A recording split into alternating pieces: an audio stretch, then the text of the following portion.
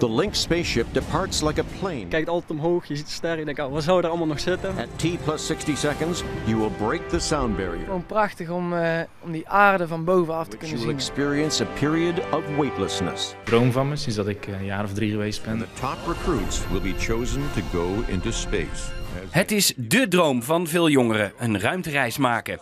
Een bekend deodorantmerk bedacht daarom een wedstrijd waaraan de afgelopen maanden 25.000 jongeren meededen. 10 bleven er uiteindelijk over en de beste twee maken kans op de ruimtereis. Maar eerst moest er gestreden worden. Om te beginnen werd het uithoudingsvermogen en evenwicht getest met flyboarden. Ja, het is eh, goed fris. Dat, eh, ja, dat zeker. Ja, daar heb je er wel voor over. Ja, daar heb ik er zeker voor over. Ja, het, ging eh, minder als ik had verwacht, maar eh, ik hoop toch een snelle tijd weggezet hebben. Na de wedstrijd in het water moesten er vragen beantwoord worden. de vraag is, waar liet hij... Een makkie voor natuurkundedocent Jordi Ollebek uit Goorlen. Eh, Een stukje over de snelheid van het licht, waarom die absoluut is, is voor mij helemaal geen probleem. En dan is het zover.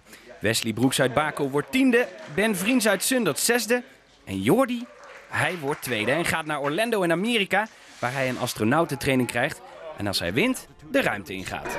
onbeschrijfelijk, super gaaf. Op naar Orlando zou ik zeggen.